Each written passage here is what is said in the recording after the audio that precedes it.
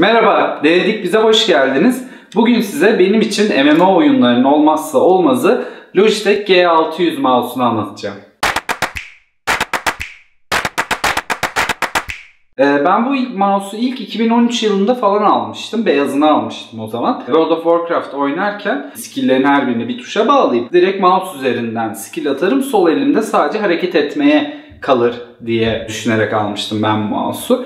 O zaman çok memnun kaldım. Bayağı da bir uzun süre kullandım ben bu mouse'u. Ondan sonra benim bütün işte klavyem, diğer mouse'um hepsi Razer markaydı. Dedim hadi gideyim Naga alayım. Naga Chroma aldım. Kesinlikle tavsiye etmiyorum. 3 sene içerisinde neredeyse 3 tane Naga Chroma eskittim. Asla Logitech mouse'tan aldığım performansı alamadım.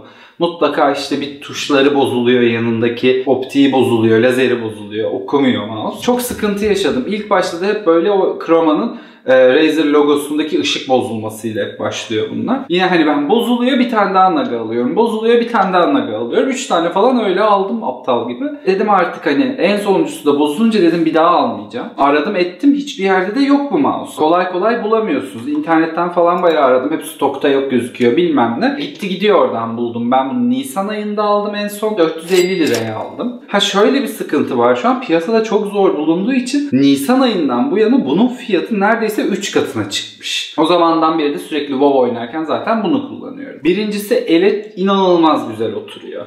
Ağır da bir mouse. Yanındaki tuşlarını Basmak çok kolay. Hissiyatı da çok güzel. Tuşları birbirinden çok da rahat ayırt edebiliyorsunuz. Üstünde şurada iki tane daha fazla tuşu var. Bu kullanırken e, hassaslık olan DPI ayarını değiştirmenizi sağlıyor. İsterseniz bilgisayar uygulaması üzerinden e, buraya farklı makrolar da ekleyebiliyorsunuz. Öyle de bir şansınız var. Burada üçüncü bir tuş var yüzük parmağınızın basması için. Bazı MMO oyunlarında 12'den fazla skill var bastığınız. Hani skill'ler var işte yok trinket var bastığın, item kullandığın. Bu tuşu alt ya da kontrol tuşuna atıyorsunuz. Oyunu oynarken buna bas. İşte buradan herhangi bir tuşa bastığınızda mesela 1'e basıyorsunuz buradan. Bir e, normalde işte fireball ondan sonra buna kontrol mü atadın? Kontrol 1 e, ışınlanma, blink diyelim mesela. Ben o şekilde kullanıyorum. Yani kendi kullandığım gibi anlattım. Ben aşırı memnunum. Bir de çok uzun ömürlü. Yani ben eski e, Logitech G600 Mo 2013'te aldığımı bayağı zor eskittim ve hiçbir bu yan, yanındaki tuşların hiçbiri bozuk değildi.